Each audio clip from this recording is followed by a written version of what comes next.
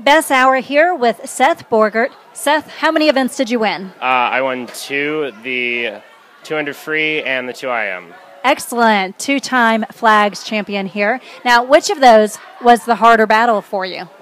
Um, I would say, I'd say they were both equally hard because I was racing John Fujiniti and, um, jeez, who's racing? Um, I was racing Drew Clark in the two free, and he was a really good combatant this, and it was a lot of fun. Well, good. Well, good. All right. So, who do you swim for, and who is your coach? I swim for High Tide Aquatics in Gainesville, and my coaches are Stephen Bostick and Brian Welter. And what do you enjoy most about swimming? Uh, just the feel of training and getting better and progressing through the sport. Now, we're asking everybody who is your favorite swimmer right now? Swimming could be an Olympian, it can be a teammate, up to you.